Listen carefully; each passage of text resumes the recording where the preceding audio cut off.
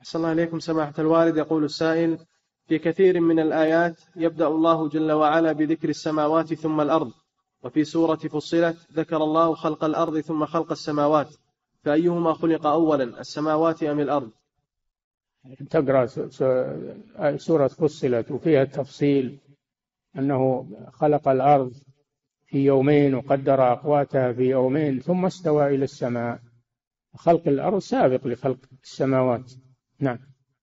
وأما قوله تعالى والأرض بعد ذلك دحاها المراد الدحو ما هو بالخلق.